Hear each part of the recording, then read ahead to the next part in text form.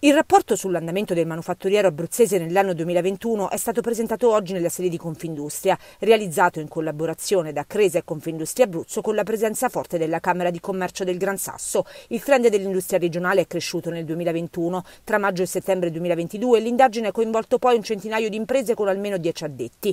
Tre i fattori importanti tenuti in considerazione nell'analisi, digitalizzazione, smart working e l'economia circolare. Per il primo dai dati emerge che le imprese che si sono evolute hanno avuto benefici sul tema dello smart working, in Abruzzo invece solo un'impresa su 20 lo ha attivato e strutturato. Dal focus sull'economia circolare emergono dati interessanti sulle quote di riciclo degli scarti, di approvvigionamento di materie prime seconde e di uso di forza motrice pulita.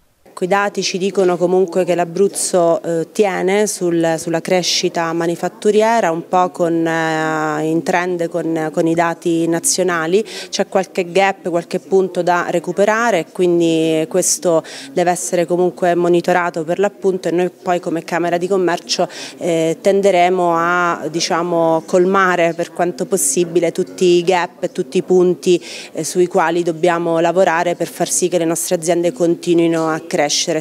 Rispetto al 2020 il manufatturiero ha visto il più 5,7% di produzione, il più 6,6% di fatturato, mentre per l'occupazione si segna il meno 0,1%.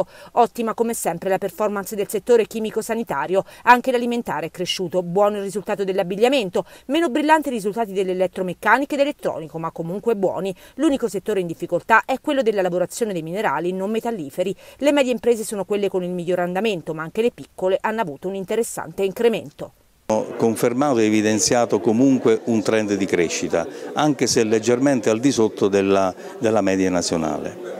Um, ulteriore eh, plus diciamo, che abbiamo rilevato è quello relativo alle medie imprese, ovvero quelle che hanno da 50 a 250 dipendenti, che hanno mostrato una strutturazione dal punto di vista digitale superiore alle piccole, ma eh, pur essendo medie hanno dimostrato una grande flessibilità rispetto alle grandi aziende e pertanto questo ha consentito loro in questo contesto attuale una maggiore competitività e un trend addirittura eh, superiore.